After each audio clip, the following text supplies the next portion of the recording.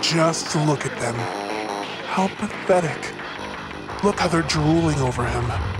Well, that will end soon enough.